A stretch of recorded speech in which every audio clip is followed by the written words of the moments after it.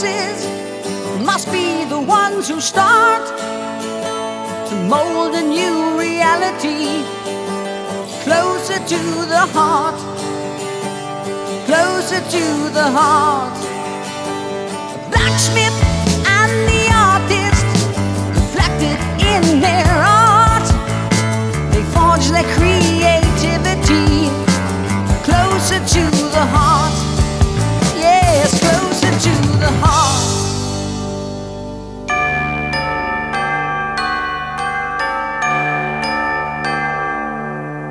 Philosophers and plowmen each must know him.